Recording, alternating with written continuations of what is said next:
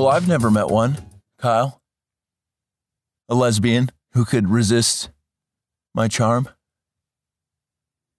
You're getting there too, man. You got good game, and you don't even have to try. It's what we like to call uh, self improvement, Kyle. Good job. Darbycast Wildcard Friday. I'm not saying I can turn lesbians into uh, not lesbians. I'm just saying I haven't met a lesbian that hasn't enjoyed my company. And I think that's something to focus on from time to time and be like, you know, the world may be pretty chaotic in some places, but at least diplomatic relations with individual lesbians are holding strong. Granted, I also don't know a lot of individual lesbians, but if I knew more of them, then that would uh, be something. But I've been focused on a lot of stuff lately, as I'm sure you have as well. As a Darbycast doctor, it's a never ending job, isn't it? You go anywhere and somebody says, Is there a doctor in the house? And you have to shoot your hand up. You got to stick your hand up and say, Yeah. And they say, What are you a doctor in? And you say, Well, everything. I'm a Darbycast doctor. I know a ton of shit. And then chances are you're going to save the day in one way or another. But let's focus on you doing you today. Because I've been noticing, I go back in the catalog from time to time, the episodes, and I'm like, whoa, I've been a little focused on politics too much. I need to zoom out, recenter, refocus, re engage with the planet. So, what do I do? Naturally, I take Kyle's dog out on an adventure. Because you don't, Kyle. Cat's out of the bag, man. You have been so focused on bullshit lately. And your dog just wants a little adventure, a little bit of love. Why don't you deliver, huh? Don't give me that look, man. You know exactly what you've been doing. You've been playing Age of Empires 2, the old PC game. And I'll give it to you. That was an amazing game. But you got to live in the present, not the past, Kyle. Okay? Age of Empires 2. You get a bunch of monks that can convert the other army's war elephants into your war elephants, and then all of a sudden you destroy their entire kingdom. In some ways, that's a metaphor for life if you're clever and you understand what a metaphor is. But that's not what we're here to talk about today, Kyle. This isn't like a let's help Kyle day. Let's help Kyle episode. No. We got to focus on the R&R of the Darby Cast doctors who might be a little exhausted from time to time. Having to either listen to other people's nonsense or help people who might not even really deserve it. So let me tell you about my beach day this morning. I took Kyle's dog, put her in the car, and she stuck her head out the window. After I rolled it down, she didn't smash the glass. And her tongue was flapping in the wind, and I scratched her haunch and I said, I love you.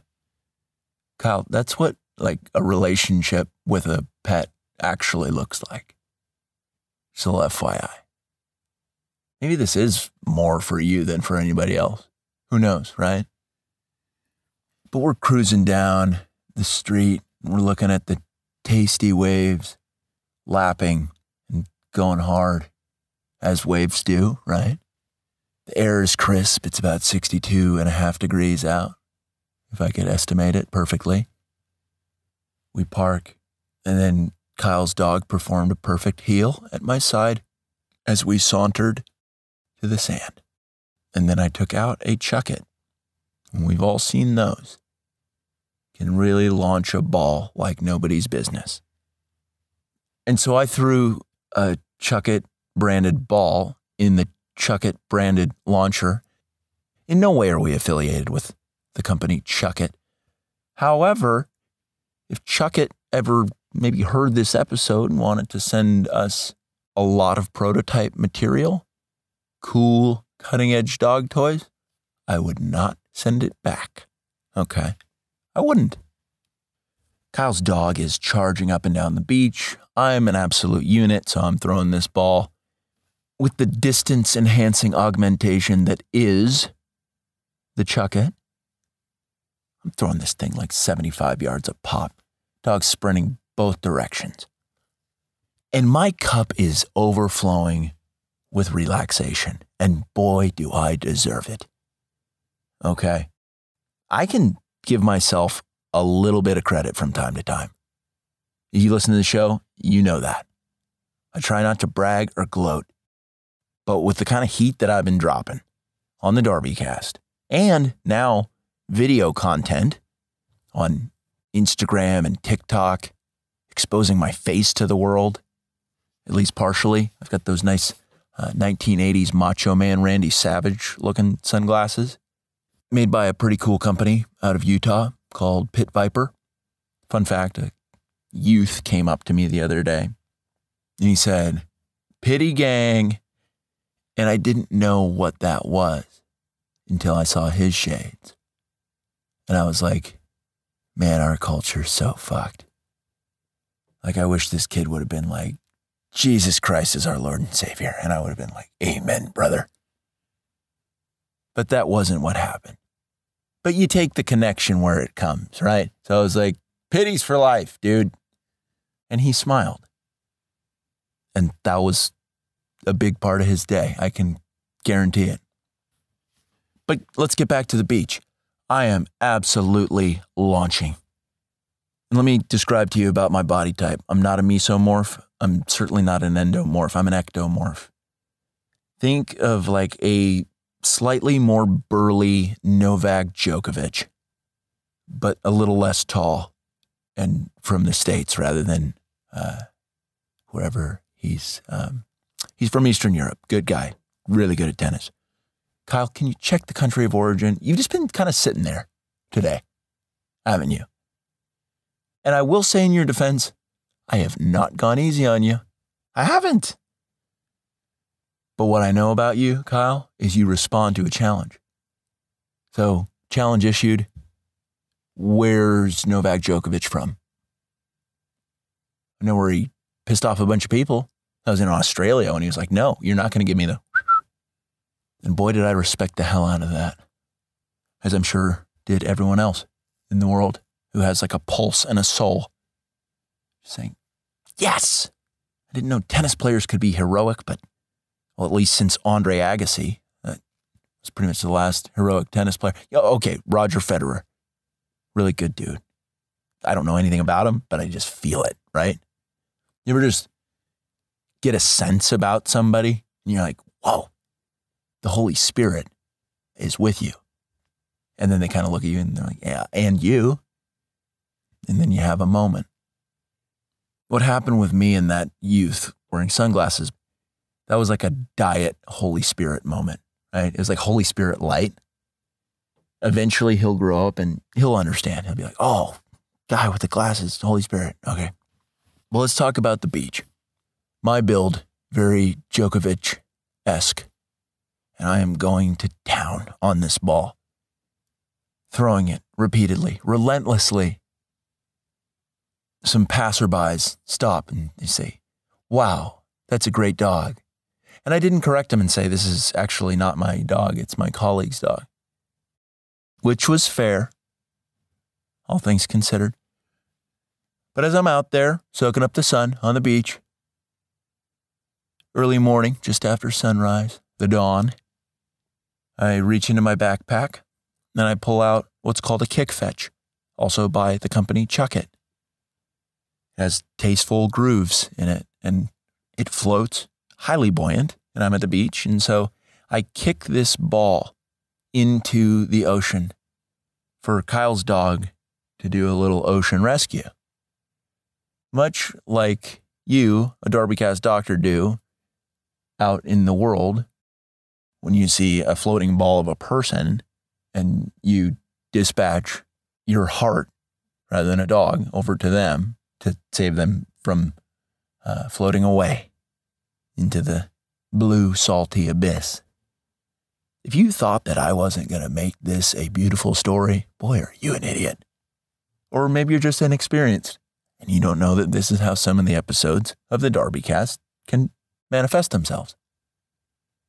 So I kicked the shit out of this ball. And it's a big ball. Not exactly soccer ball size, but it's no joke either.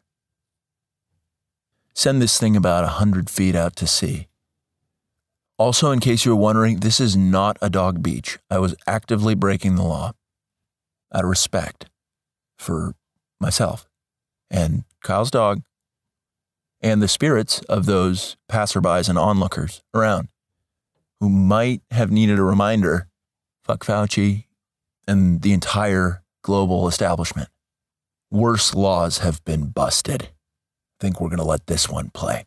So I kicked this ball way out in the ocean. Kyle, your dog, was so excited. But then she got to the waves and kind of came up a little bit short. But she was really cute about it too, because she was kind of like motoring her front paws as if she was swimming before her front paws were really submerged in the water. It looked really different. But then she kept coming back out and giving me a look and saying, Is it okay? Is it okay to go get that ball? And naturally, I, as a Djokovic bodied hero, gave her a knowing look and I said, Go get it, child. I kind of activated a part of myself that I didn't know that I had, which is like um, strong, independent black woman, where I was like, go get it, child.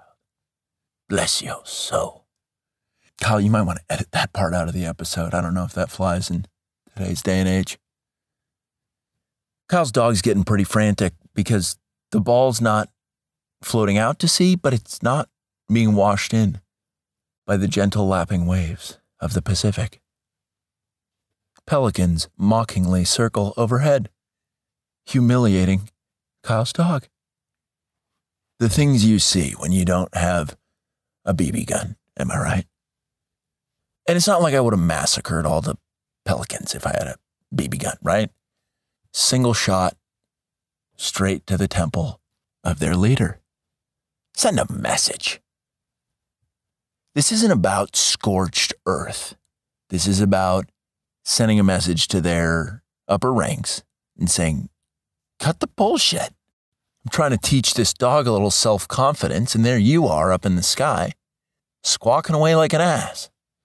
Sometimes a high profile pelican assassination isn't just the right thing to do, it's the only thing to do. Run out of options. But again, I didn't have the pellet gun, right? So I go for the next best thing, which is, of course, what? Calling out to Kyle's dog. Don't listen to him. Don't pay attention to the haters. I am here for you. I got your back. Little pep talk to the dog. She understood what was going on, I think.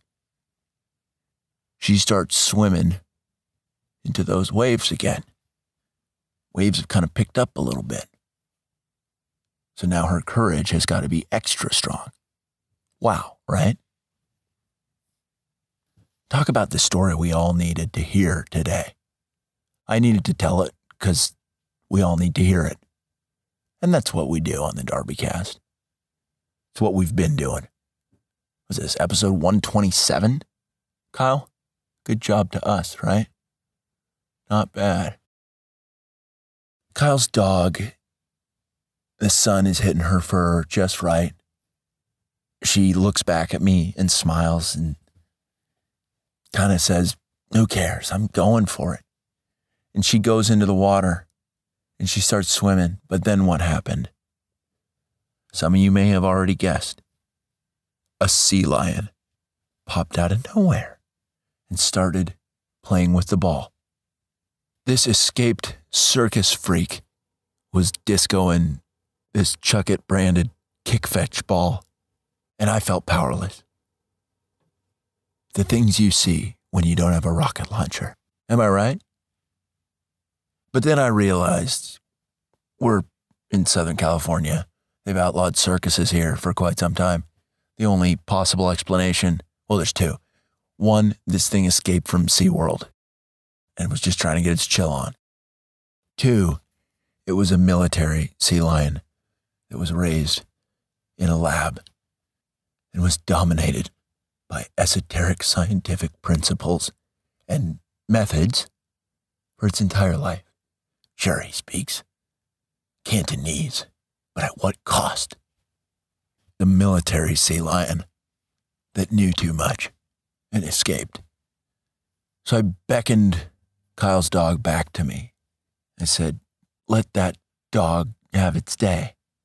Sea lions are the dogs of the sea, in case you didn't know. I said, Every dog has his day. And the entire chill factor for about a five kilometer radius increased in a way that would be uncomfortable for some, but fairly pleasant for most. I fall into category number two. The sea lion returned the ball. Kyle's dog retrieved it. And then we went back to using the smaller rubber ball. But we all came out of this situation feeling more connected. And that's really what this episode is about. It can be really exhausting paying attention to the goings on of the world all the time. So occasionally you have to stop, go to the beach, and recognize which beasts are okay and which ones aren't. Remember, those pelicans were way out of line. What else was going on at the beach? You might be asking right now. I saw a guy who was really hurting. That's what. He didn't have to say a word, but he was wearing a skin tight Hawaiian shirt. Guy was in his mid 20s, wearing a pair of Ray-Bans, gelled hair, sprayed on Hawaiian shirt, black jeans. I looked at Kyle's dog after surveying this individual, and I said to her, I said, stay close to me. This guy's a lunatic. And I wasn't wrong. He started throwing rocks in the ocean and wasn't even trying to skip the stones. Talk about a dangerous individual. Really inappropriate. A simple, inspirational beach run turned pretty dark pretty quick. We had to stay vigilant. The things you see when you don't have a well trained attack dog. That's on you, Kyle. Why haven't you taken her to the training course where you could teach her how to kill people? If this situation called for it. I will pay for it, Kyle. Get it done. But let's continue with this beach experience because it was still going on. Kyle's dog took multiple deuces, and I, as a responsible citizen, cleaned them up. I bagged them and I walked them over to a trash can. Just as I discarded those poop bags, there was a woman on a bicycle, a pretty expensive looking bicycle, racing bike. Let me describe this lady to you. She was wearing cool sunglasses. I don't think they were uh, pit vipers like the ones that I wear. So I didn't call out like pity gang, even though the impulse was totally there. You get what you give, right? But this woman had the build of Madonna, who's a disgusting human being. I'll have you know. If you haven't listened to episode I believe it was eight or nine, Volcano Cornbread. You go back in the catalog, you learn a thing or two about Madonna. But that's just how this lady was built. And she was making these noises while riding her bike, standing up, not sitting in the saddle. And I had a really hard time processing her noises because I knew by her age that she was postmenopausal, but they were orgasmic in tone. She was just riding her bike going, ah, yeah. And I was like, thank goodness there aren't kids around to witness this. And then the pitch shifted and it was higher. She's like, ah. And I turned to Kyle's dog and I was like, do you think she's got some kind of uh, issue? And she was making these noises for probably over a thousand feet, like 500 feet coming towards me, 500 feet passing me. And I was like, what is, what's tickling your giblets? lady. Like, I am not aligned with whatever it is that's happening to you. In the past, we would have burned you at the stake for dishing out a level of nonsense like you're putting forth. But then I realized, I was like, what if she's just having such a good time that she can't help but have a postmenopausal persistent orgasm and the face to match? Where's that, right? We should all be so lucky as to have that kind of joy in our lives. Her face, when she was making these noises, mouth wide open, the kind of face that you would make if you saw a ghost that was like really sexy. It's like shocked, but really engaged.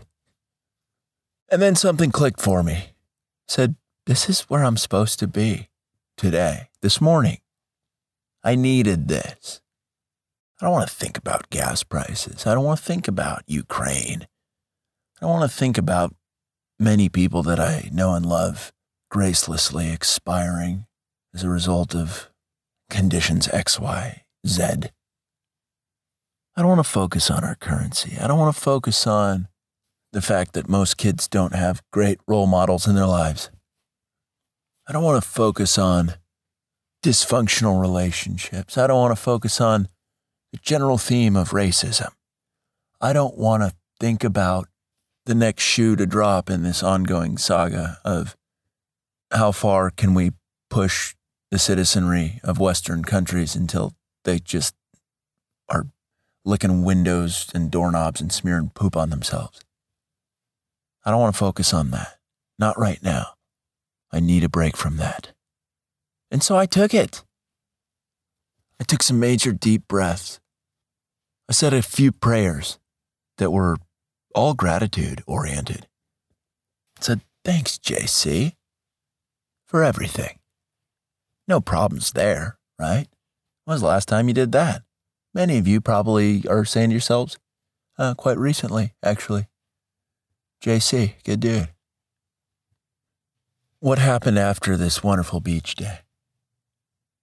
I ate some cinnamon raisin swirl bread with a little cinnamon sugar butter as a garnish. Many of you thought that the day could not get any better, and then out of nowhere, flavor explosion. And you better believe I cannonballed that delicious toast with some nacho cheese Doritos. Today's a carb loading day for me. Sometimes you just got to fill up your tanks all of them the spirit tank, but also the glycogen stores in your muscles so you can have an explosive workout the following day. Give your muscles a little bit of a break. You don't use the technology devices so much. I've been getting a mean case of tech neck. It hurts. My neck feels out of whack all the time. Combination of being stressed out by hearing people's garbage assessment of what's going on in the world coupled with craning my neck over digital devices, all to make sense of things. But the only thing that really made sense today for me and Kyle's dog was a little bit of recharging the batteries, doing it the right way, outside, upright. We weren't drinking daiquiris in a hammock.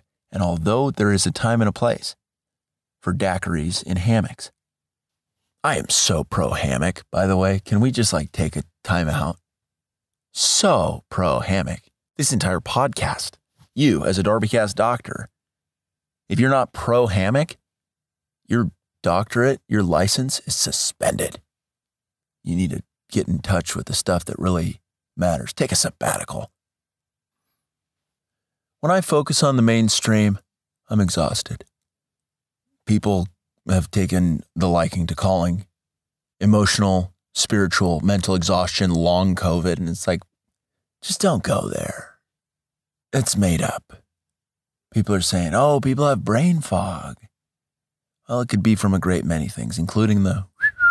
However, it could also be from just trying to pay attention to too much and care about far too many things all at once. It's not okay. Got to build a little space for yourself. Take a nap. Say what you will about the Spanish people, but the siesta, not bad. And neither is paella. While we're on the subject of Spain, I hope that this episode just puts wind in your sails. I don't even know what we're going to call it, Kyle. I will come up with something, as I always do, but it might just be wind in the sails, even though today wasn't very windy at the beach. Filling up the cup, wind in the sails. Orgasm noises in the senior citizen cyclist. Probably need to be a little bit more succinct than that. Here's what I want you to think about today. A, what do you think that sea lion's up to right now? B, what activity would give you an orgasm face? And why is that important? That's a two part question. Actually, three part question. And it can't be sexual in nature. That's the caveat, that's the proviso. Do something today that makes sense for your soul. Is that a tall order? Is that a tall request? Perhaps. But you deserve it.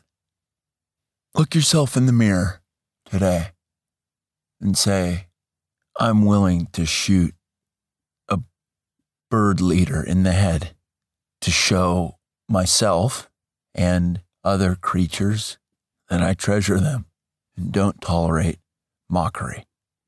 That some things need to be held sacred. Whether you're a pelican, a seagull, a crow, or a sparrow, don't get in the way of a good time. This is your only warning. But that's going to do it for DarbyCast Wildcard Friday. You have a great rest of your day.